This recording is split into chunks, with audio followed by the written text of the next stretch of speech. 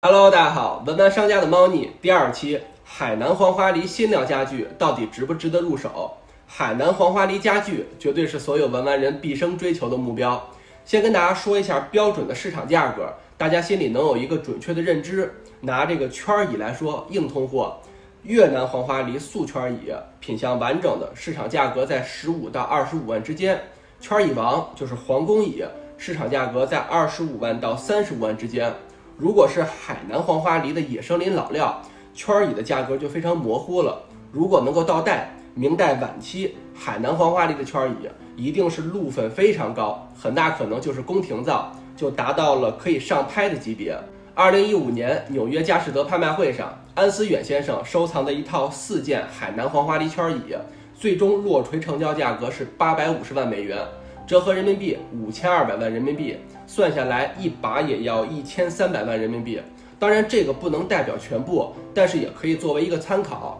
七八十年代也有大量的民用海南黄花梨圈椅制作出来，器型做工可能会稍微差一些。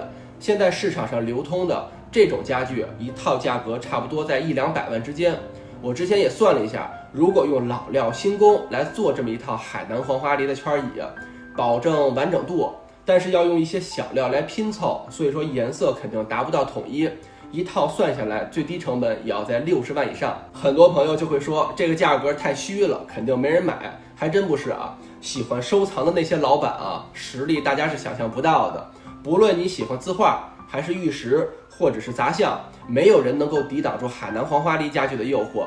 如果我现在手里有一套完整品相的海黄老圈椅，我现在至少可以想到五个客户。能够立刻拿出一百万来收下，所以说，如果你身边朋友啊说手里有一套海皇的老圈椅，想这个转让给你十万二十万的，千万别动心思，这种馅饼绝对不可能落在你身上，因为海皇圈椅啊，这是标准的硬通货，只要是比市场价格低个百分之二三十，放心，绝对会有人抢着接手。说起这个海皇新料的家具啊，最近也是有很多朋友发私信问，说自己看到一套海皇的圈椅。才卖三四万块钱，商家还保证保真是海南黄花梨，假一赔万。问这个是怎么回事？这个很简单啊，它就是海南黄花梨新料的家具。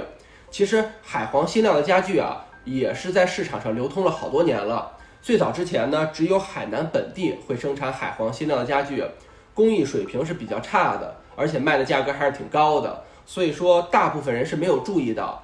直到一九年之后。仙游开始加工海南黄花梨新料的家具了，这个不服不行啊！仙游的加工工艺水平是真的特别的高，而且是把售价直线拉低。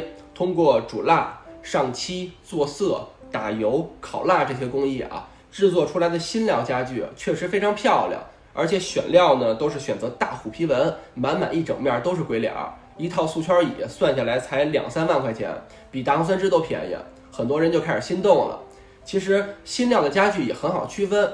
首先，新料家具颜色浅，深的基本上都是做了漆面处理，而且家具上满满的都是虎皮纹，满满都是鬼脸儿。而且新料是没有大料的，所以说你看这个凳子板、椅子板，包括桌面板，它都是用小料拼的，一个小桌板儿七八拼。那海皇新料的家具到底值不值得入手呢？先说它的优势啊，优势是材质是海南黄花梨。就算是新料，它的名头也在这摆着，花纹呢也确实很漂亮，大虎皮纹、大龟脸儿。最重要的是价格非常的低，比大红酸枝的家具还要更便宜。缺陷就是它的稳定性不好，就算是通过煮蜡提升了它的稳定性，在内陆城市或者是在北方啊，还是非常容易开裂、容易变形。